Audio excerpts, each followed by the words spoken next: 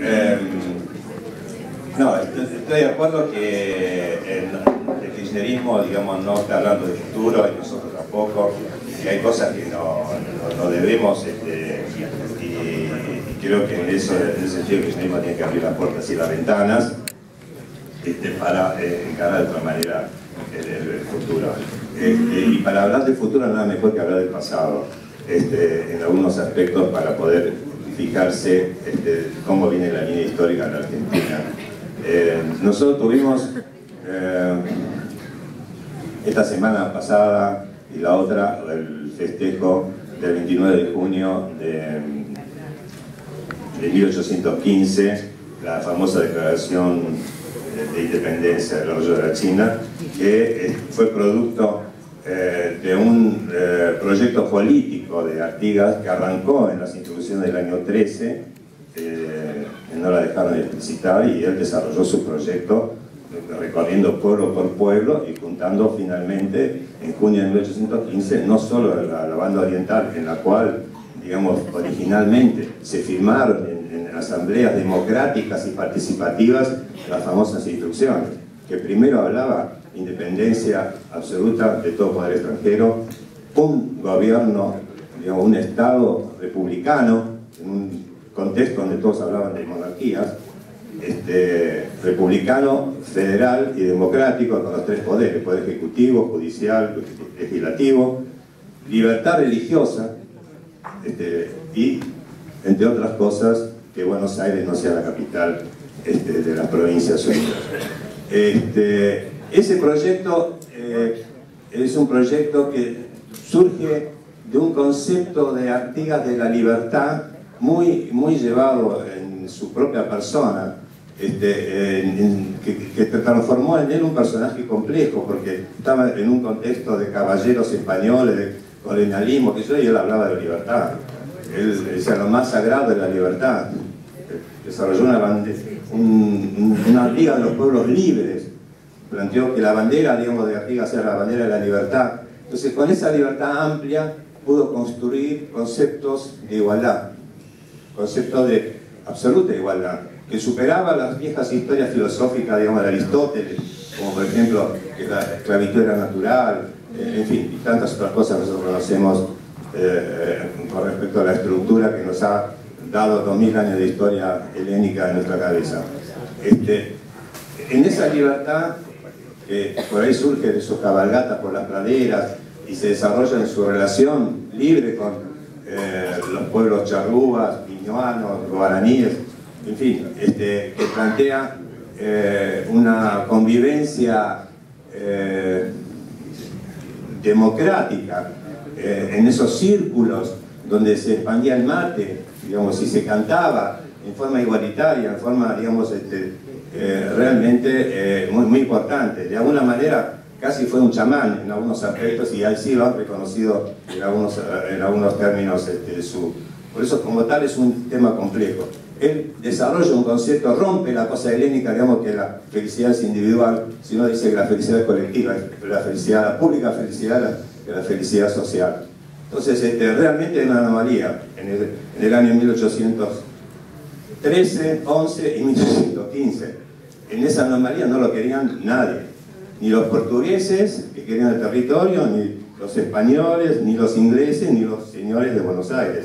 Esta, es la, historia. Eh, en ese sentido, este, eh, Artigas conceptualiza, sí, la historia de los jesuitas, que la, que incorpora a su pensamiento, esa historia, digamos, que construye año 1760 y algo, antes que los echen, un proyecto americanista él plantea un proyecto de un país americano, un proyecto donde los recursos naturales, en ese sentido, son de todos.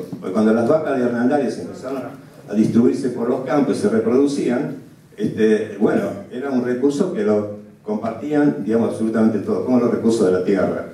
Este concepto de que los recursos naturales son de los pueblos, después en la constitución del 49, este, Sampaio hablaba del artículo 40, que los recursos de hidrocarburos son, digamos, absolutamente de, la nación argentina, viene de, este, de, este, de estos conceptos comunitarios, que lo rescata este, de alguna manera Bergoglio en este viaje que no es casual, donde los pueblos originarios tienen mucha incidencia con son Ecuador, Bolivia y Paraguay.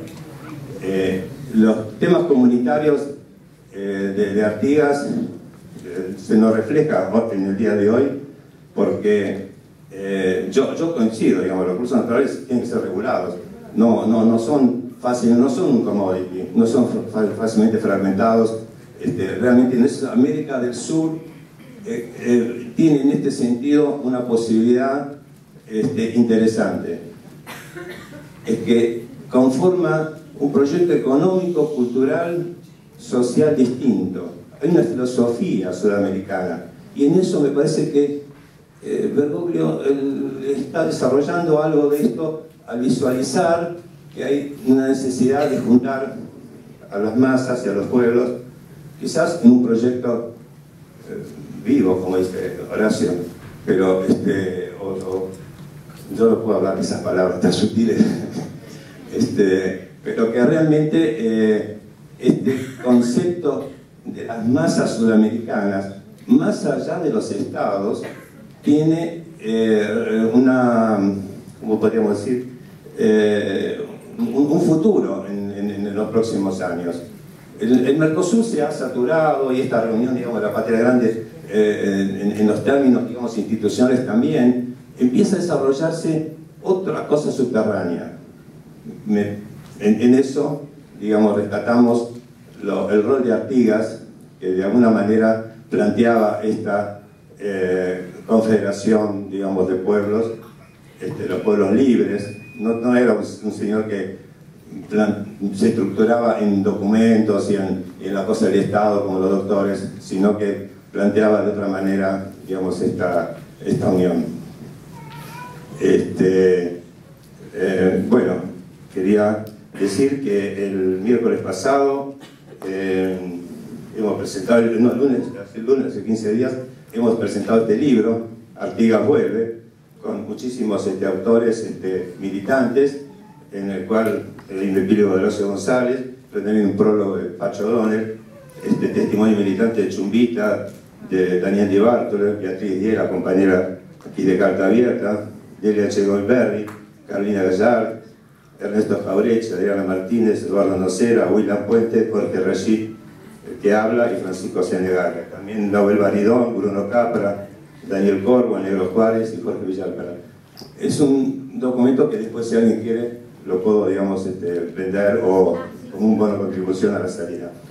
Este, fue hecho para este evento, en el cual eh, del 29 de junio, al cual eh, La Nación y Clarín han puesto en sus páginas, y también la editorial de La Nación, un, planteo. ¿Cómo se puede cuestionar la verdad histórica? Ah. Claro, ¿cómo se atreven, digamos, a... Si la historia ya está dada.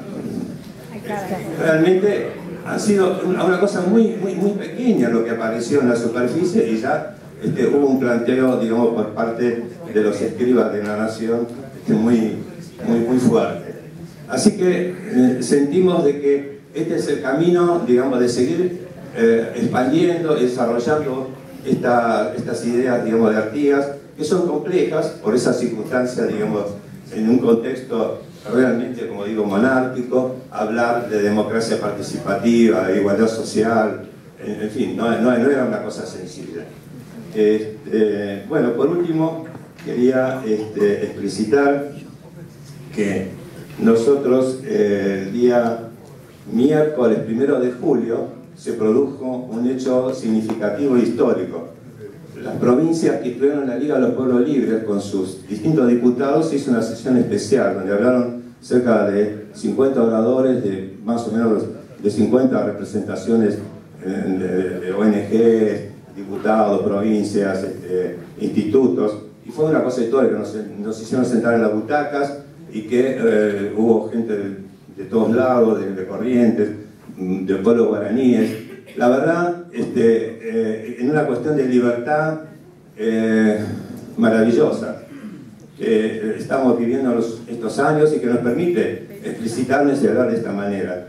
Una libertad que también planteaba Artigas, y una libertad que no es la que quiere la nación o Clarín, que es la libertad para elegir entre ellos, es una libertad que permite la igualdad y, todo lo demás. Así que eh, Artigas en esta libertad vuelve. ¡Viva Artigas! Gracias.